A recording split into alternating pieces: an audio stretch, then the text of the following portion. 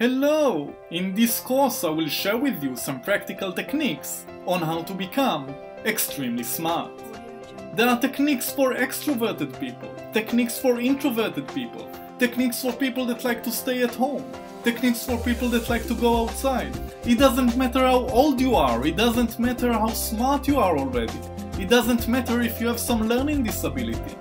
Follow those fun and simple techniques and you will become extremely smart.